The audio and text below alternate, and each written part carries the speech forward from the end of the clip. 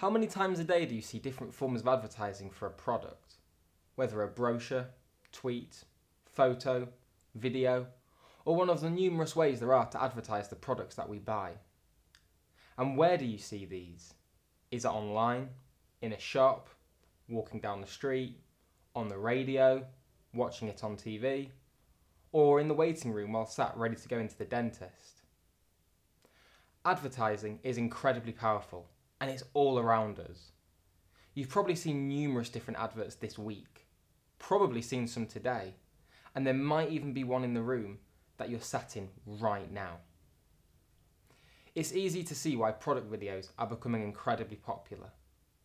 In 2014, 64% of people were more confident in online purchase decisions after watching a video, and 85% of people would rather watch a video than read the text. Let's look at one of the world's biggest companies, Apple. Look at their YouTube channel. Every single video you see is a product demonstration video. And let's look at their most popular product, the iPhone. Watch the following video. How many features can you spot? Dun dun dun dun dun dun dun dun dun. Dun dun dun. Dun dun dun dun dun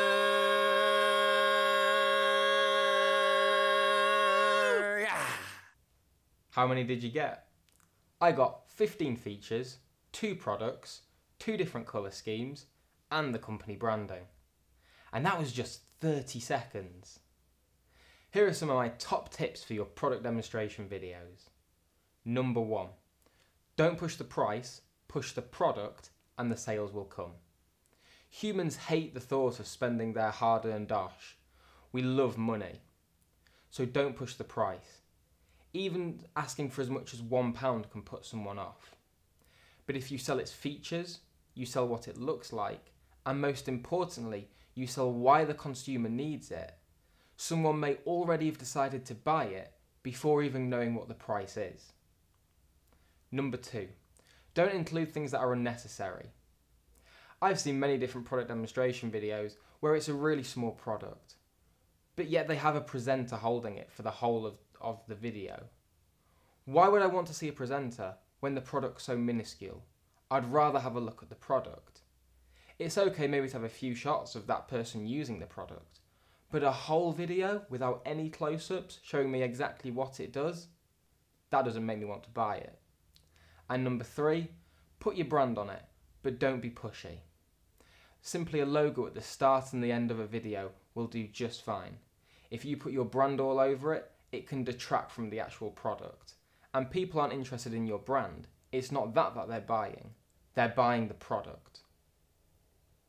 Small companies can do this as well though. Recently we worked for a company in the Harrogate area that sells extraction fans for kitchens and bathrooms around the UK. They commissioned 150 different product demonstration videos across their range of kitchen extractors. We haven't even finished producing the videos yet, but already sales are up 50%. This has meant an increase in profits, and their profile has been raised in the local area and across the UK. We produce product demonstration videos for business. We'd love to hear from you.